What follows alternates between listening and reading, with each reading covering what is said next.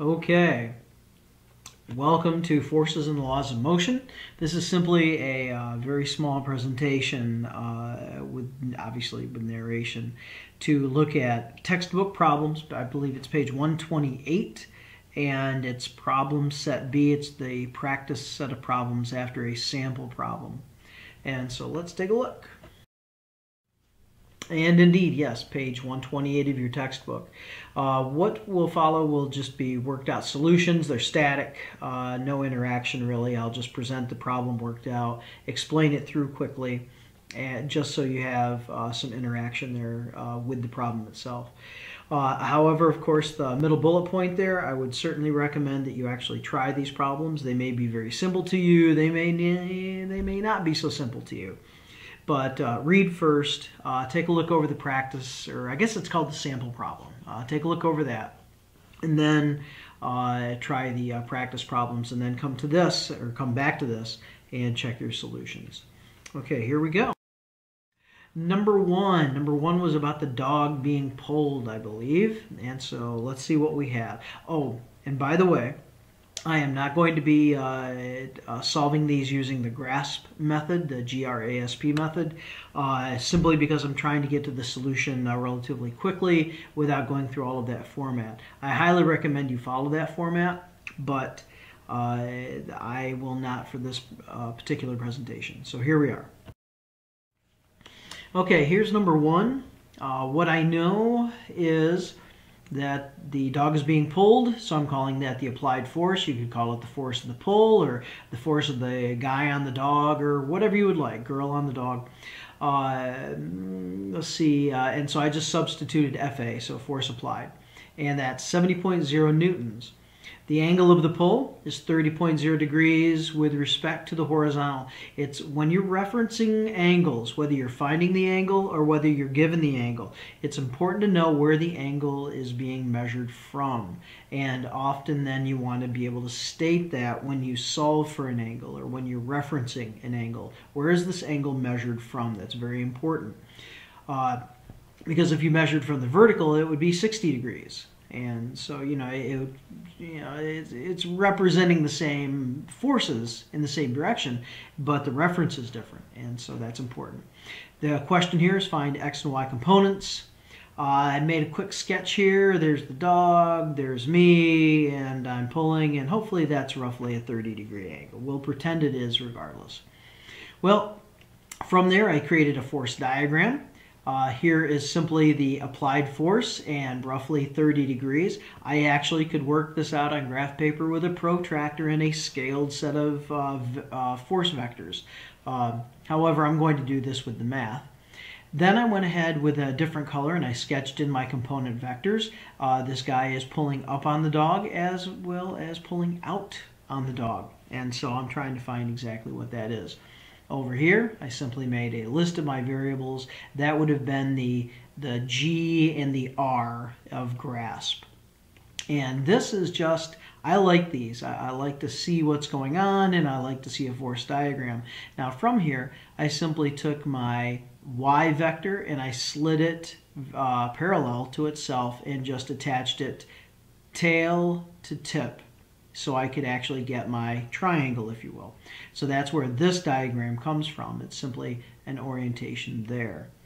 And here's my 30 degree angle. Okay, so what am I going to do? I'm going to use trig to find my components. If I want to find the, uh, the pulling out direction, or the pulling out force, I guess, uh, in this particular direction, uh, I'm going to use the cosine of the angle equals uh, that component over the applied force, which is my resultant, which is, of course, your hypotenuse, rearranged to solve for the actual force that I'm looking for. So it's uh, the applied force multiplied by the cosine of the angle will equal what I'm looking for. Here's the math, comes up to 60.6 newtons. If I want to find uh, the kind of, I would call it a wasted force, maybe, uh, pulling the dog up, uh, which is really not going to move the dog in the forward direction, but that particular part is there, so it's a sine function. And so sine of the angle equals my y component over the applied force. rearranged, solved, 35 newtons. So those are the two answers that I was looking for, 60.6 and 35.0 newtons. No direction necessary because they're component forces and they're perpendicular to each other. Okay, next. Problem two, we had a falling apple in a wind. Here we go. Okay, so without a lot of fanfare, I simply just up here, I wrote down what I knew. So this would be the given and the required or requested. Force of gravity pulling down in the negative direction. Force of the wind uh, pushing to the right. And then what is the net force? Drew a quick apple, a little bit of wind, a little bit of motion swishy. Gotta have the motion swishy. And then, sadly, I had to draw this apple like seven times before I was happy with it. And it still look I don't, it looks like a peach. Anyway, here's my force diagram. To the right, down, force of gravity, everything is labeled. Uh, then I have two possible uh, diagrams out of this by moving uh, my forces parallel to each other. If I take my force of gravity, move it parallel over and connect it tail to tip, I get this diagram. The missing force is the net force, and that would be connecting uh, the uh, tail of the first arrow to the tip of the last arrow. Basically, we're adding vectors here. The angle then would be the angle here that I would be measuring. Everything is still labeled. There is my net force. However, there's a second diagram that I could draw which is equally as valid, and that's this diagram. What I did in this case is I took my force of wind and I moved that parallel to itself uh, down to uh, connect with gravity and redrew it there. So that's what I did. And so with that, here again, I'm going to connect uh, the tail of the first to the tip of the last, and that becomes then your resultant, your hypotenuse, the vector we're looking for, that's the net force. Notice in both of these diagrams that this arrow is exactly the same and it is parallel with itself and that's there's no surprise there no matter in what order you add all vectors if you have 25 vectors you add them up you'll end up with the same resultant every time regardless of the order that you actually add your vectors. So it didn't matter which diagram I did because it was still going to end up with this particular arrow in a particular direction. And this angle and this angle are complementary to each other complementary to each other. They will actually total to 90 okay what's the math well, because I happen to know both sides, I can actually use Pythagorean's theorem to actually find the magnitude. So wind squared, gravity squared equals net force squared, square root, 2.48 newtons. If I want to know the angle, so I'm going to come up here, if I want to know this angle or that angle, what you can do is then resort to trig. This is one way of uh, a few. You know, there's a lot of different ways in trig to find because we know a lot about this triangle about, about all these forces that there's a lot of ways to figure this out. I simply chose the tangent because in the problem I was given the wind and gravity. I don't have to use the net force on this one. So I simply took the tangent of opposite over hypotenuse. This is using the second diagram to get this arrangement. Solving for the angle itself, I have to basically divide tangent to both sides to get it to cancel on the left. And when you do that, it becomes what is, I believe, called inverse tangent and I have I grew up calling it arctangent. But either way, it's tangent to the negative one multiplied by the product or the quotient of the wind divided by gravity. And as long as your calculator is in degrees mode, that's important, you'll end up with 25 degrees. Now you can probably go through sine and cosine functions and still find the same value. Uh, so there you go. Those are the two answers it was looking for. Next. Uh, number three, the northbound boat in a current, I believe, water current. And this is the last problem. Okay, so what do we have? Well, force of the wind and force of the water.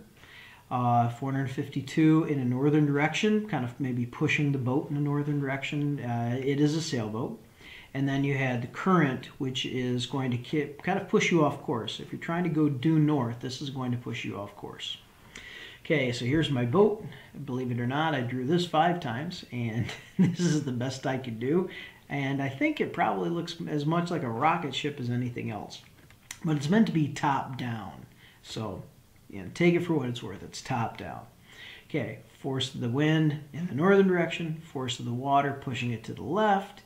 Resolve this down to a force diagram. From my force diagram, I then take one of these forces and I move it parallel to itself, connecting tail to tip, tail to tip, and that'll give me the ability to draw my resultant, which is your hypotenuse. So it looks like I took the water current and I simply slid it parallel, connecting it, and then here is my result, and that's the net force. And the angle measured from, I guess, north. Um, and in this case, basically, this net force really uh, is going to tell you the, you know, the force at which is moving your boat, but also with the direction. This is the course that you're actually going to be sailing on this, you know. So you might be trying to go north, but the wind and, well, I guess the current is going to push you off on this angle. So what's the math? Well, because I knew a lot about this, I could use Pythagorean's theorem again to actually find the net force. So uh, wind squared, water squared, net squared, square root, 557 newtons. So this net force here, when these are combined, 557 newtons. Basically, these two forces could be replaced with a 557 newton force operating in this direction, and you would get exactly the same effect. And then to find the angle, uh, it was I used the same process. I actually just copied and pasted, um, and I changed my symbology around a little bit. Uh, matter of fact, no, I didn't. I forgot to erase this, so there's no force of gravity here. That would be force of the water. So, um, you know, kudos to me for not uh, not fixing my diagram. But in any case, I just use tangent function. You can, because you know all about this triangle now, you can use the other functions as well. Either way, it would have been uh, the wind divided by water this time, wind divided by water, uh, inverse tangent of all of this, and it came out to be 35.7 degrees. Now, the angle is important as far as to uh, kind of demark where it is. And in my case, because of the way I drew my diagram, it would be west of north. So west of north, and that's uh, that's mine. Had you drawn your other diagram where you moved parallel and went this way, measuring from, I guess it would be uh, north of west, and you would get the complementary angle. So 90 minus that, and that would have been your answer. Well, here are your solutions, a little longer than I expected, but I had a good time talking about my bad diagrams and the fact that I forgot to edit.